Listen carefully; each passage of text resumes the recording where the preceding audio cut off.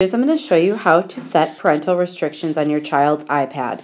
What you're going to do is you're going to start by opening the settings menu. What your parental restrictions is going to do is going to give you the ability to turn off the App Store so kids can't download any of the apps that you don't feel are appropriate. Snapchat, Facebook, whatever you don't want them using.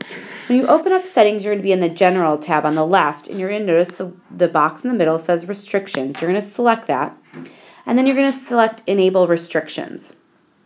At this time, you're going to set a four-digit code that only you would know um, in order to turn on and off these restrictions. I'm just going to select 1111, and then you're going to have to enter that again, 1111.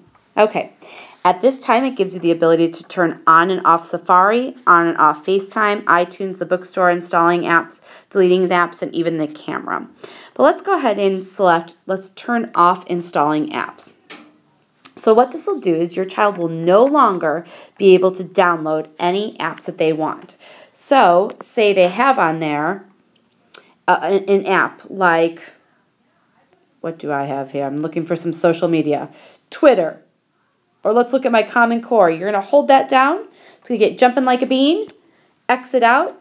Delete any apps that you don't want on there. They won't be able to reinstall any apps back onto their iPad. So that is how to turn off the App Store.